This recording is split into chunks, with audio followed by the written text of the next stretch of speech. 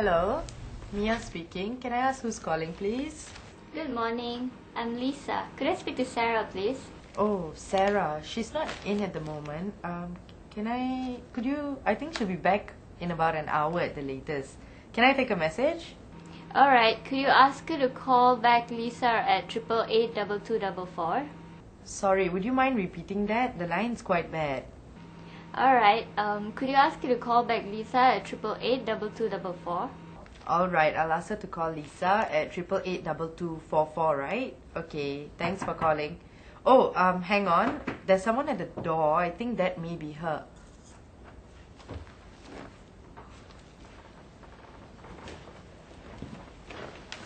Hi Lisa, Sarah here. How are you? I'm fine. Well, the reason I called today is to ask if you'd like to go to the cinema this weekend. I love to. Would this Saturday at night at 9 will be okay? That's alright. So let me confirm with you. You said this Saturday night at 9, right? Yes. See you then. You too. Take care. Bye.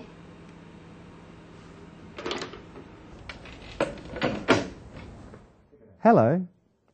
For today's lesson, we are going to introduce you to the basic skills needed when using the telephone. Many people find it difficult to make phone calls in English, and that's completely understandable, seeing that English is not our native language. In a phone call, you can't see the person you are talking to and read their body language, which makes it really hard to understand at times. Their voice may be unclear, and you might even find it difficult to find the right words to say. Another thing to think about when talking on the phone is formality. It is necessary to use the right level of formality. People might find it difficult to feel comfortable when they talk to you if the way you talk is too formal. On the other hand, if you are too informal, people might think you are rude. It is polite to use could, can, may, or would when you make a request. Hi, um, could I speak to Sarah, please? Yeah, okay. Then can I leave a message then? Oh, would this Saturday be fine? Okay, thanks, bye.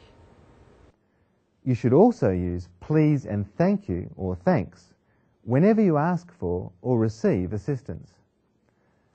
Please keep in mind these forms of request and appreciation are generally applicable to other daily interactions too, not just for telephone calls. It's important to show politeness at all times.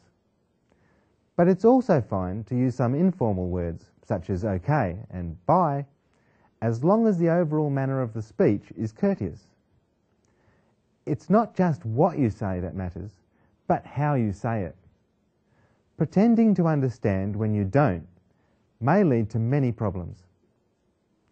It's perfectly acceptable to use phrases like, Would you mind repeating that, please? Could you speak a little more slowly, please? You could always say that I'm sorry, the line's quite bad, if you can't hear them clearly. Phrases such as that will help make sure that you have a problem-free phone call. There are other expressions that may be useful during a telephone call. Introducing yourself. Hi, this is Kimmy. Hello, Kimmy speaking. Asking who is on the telephone. Excuse me. Who is this, please? Can I ask who's calling, please? Asking for someone. Can I talk to Siti, please? May I speak to Siti, please? Is Joe in? Connecting someone. I'll put you through. Can you hold on a moment, please? Can you hold the line, please? How to reply when someone is not available. I'm afraid Ali is not in at the moment. Mr. Dave isn't in currently. Mr. Dave isn't in at the moment. Mr. Dave is out at the moment. Taking a message. Could I take a message? Could I tell him who is calling? Would you like to leave a message?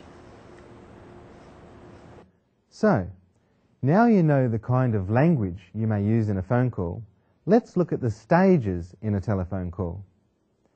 There are four stages in making a good telephone call. A. Before the call. B. Beginning the call. C. During the call. And D. Ending the call. Before the call. Prepare well before you call. Plan what you want to say. Have all information on hand already. Next we go to beginning the call. Start with a greeting and clearly identify yourself. Good morning, I'm Lisa. Give a reason for the call. May I speak to Anita, please? During the call. Create an encouraging and friendly mood. Hi, how are you? Communicate what needs to be said clearly. Listen attentively to what is being communicated. Make sure you understood what was said. Finally, ending the call. Clarify by repeating and confirming what was said. For example, So let me confirm that. You said Saturday night at 9, right? create a positive atmosphere before you end the call. You can use compliments, for example, You've been a great help. end the call politely, for example. Thank you very much. These are some common words used for a telephone call. Hold on means wait. Hang on means wait too. Hang up, ring off, means finish the call by breaking the connection or put the phone down. Ring up means to make a phone call. Pick up means to answer a call when the phone rings. Put through is to connect your call to another telephone. Call back is to return a phone call. An exercise for practicing speaking on the telephone. The most important thing about practicing telephone conversations is that you shouldn't be able to see the person you're talking to on the phone. Here is a suggestion for practicing phone calls. Put your chairs back to back with a partner and practice speaking on the phone. You will only hear the other person's voice, which will be similar to a telephone situation. That's all for today, kids. But remember, practice makes perfect, so practice, practice, practice what you have learnt. Till we meet again, goodbye.